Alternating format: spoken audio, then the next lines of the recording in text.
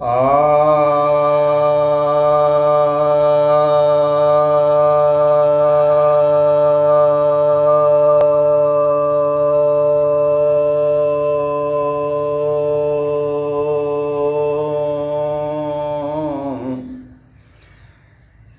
भक्तजनों को सप्रेम नमन। भक्तों, आज मैं आपको त्रियक उपवेशासन बतलाने जा रहा हूँ। इस आसन को करने के लिए आप प्रातःकाल और सायंकाल दोनों ही समय चुन सकते हैं। वैसे प्रातःकाल विशेष लाभकारी होता है। आप शौच क्रिया से निवृत्त होकर के खुले स्थान पर कम्बलदारी बिछा करके बैठ करके आप इसे करेंगे। इसमें दोनों पैरों को मोड़ लिया जाता है। और एक हाथ से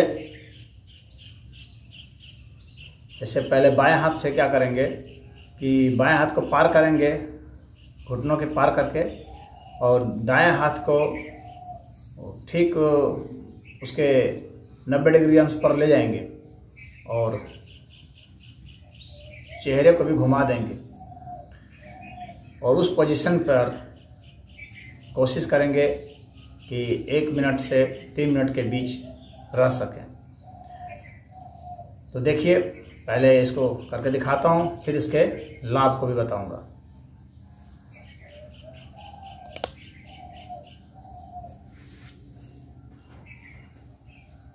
इस तरह से बैठ गए। आप देख रहे हैं, ऐसे बैठ गए। अब ये जो बाया हाथ है, अब इस बाया हाथ को इससे पहले पार कर लेते हैं, इस तरफ़। पार हो गया। अब इसका इस हाथ को, दाएँ हाथ को, इसके ठीक नाइन्थ डिग्री पर रख लेंगे। और ये जो दाएँ हाथ का जो मध्यमा है, इसकी ओर जो है नज़र घुमाएँगे। और इस हाथ से कोशिश करेंगे इसको इधर धकेलने की।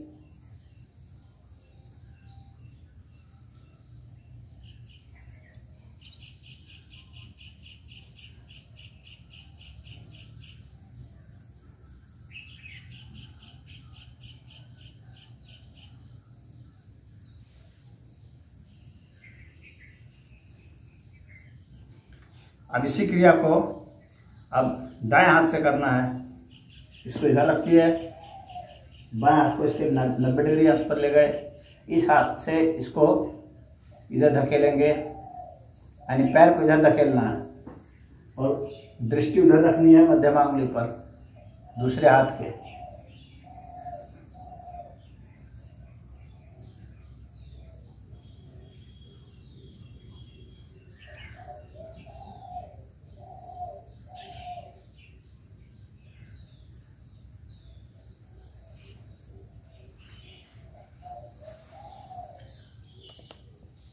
तो ऐसा आप एक से तीन मिनट तक करेंगे। इस आसन को करने का बहुत बड़ा लाभ यह है कि यह घुटने और कमर दर्द में बहुत ही लाभकारी है। पीठ दर्द के लिए भी बहुत ही लाभकारी है और गर्दन के लिए भी बहुत लाभकारी है। यानी जिन लोगों के गर्दन नहीं घूमते हैं, उनके लिए भी बहुत फ़ायदा होगा। इनको स्पॉन्डलाइसिस की समस्या होती है, उनके लिए बहुत अच्छा है। जिनको बैक पेन हो जाता है, कमर में दर्द होता है लम्बैगो है, उनको बहुत अच्छा रिस्पॉन्स देता है। घुटने की समस्या में भी बहुत लाभकारी है यह। इनके घुटने में सूजन हो जाती है, घुटना दर्द करता है, खटखट की आवाज़ आती है, उसमें बहुत लाभ करेगा। जिन लोगों को मोटापा है तो ये मोटापा भी घटाता है।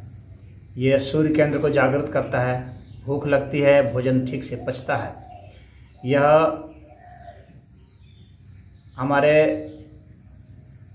गुर्दे को गुर्दे संबंधित कोई और समस्या हो, जैसे कि पेशाब में जलन हो, या पीप आता हो, या पथरी हो गई हो, या नली सिकुड़ गई हो या गुर्दे में ही सूजन हो गया हो तो वो यह ठीक करता है। अल्सर में भी बहुत अच्छा इसका रिस्पॉन्स है। इनको कोलाइटिस हो जाती है। उसमें बहुत अच्छा काम करता है। यह गैस की समस्या है। पेट फूला फूला रहता है। तो उसमें भी यह बहुत लाभकारी है।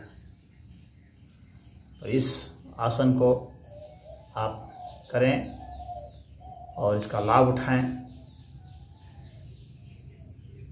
इनको जिनका स्टिफ नेक होता है, या स्टिफ शोल्डर हो जाता है, उसमें भी यह बहुत लाभकारी होता है। जो ड्राइविंग करते हैं और उनको दर्द रहता है बराबर तो उसमें भी यह बहुत लाभ देता है। यह हमारी नसों को, रीढ़ की हड्डियों को कशेरुकाएँ जो होती हैं, उनको यह बहुत फ़ायदा पहुंचाता है। वहाँ खून का संचार बहुत बढ़िया हो जाएगा उस क्षेत्र में। तो इसका आप लाभ उठाएँ, करें, ज़्यादा समय नहीं लेगा यह। अधिक से अधिक सात आठ मिनट का समय है इसमें। तो इसको करके आप फ़ायदा उठाएँ प्रतिदिन इसे। अगर आप ज़्यादा पीड़ित हैं तो आप सुबह शाम दोनों टाइम भी कर सकते हैं। तो आज इतना ही। ओम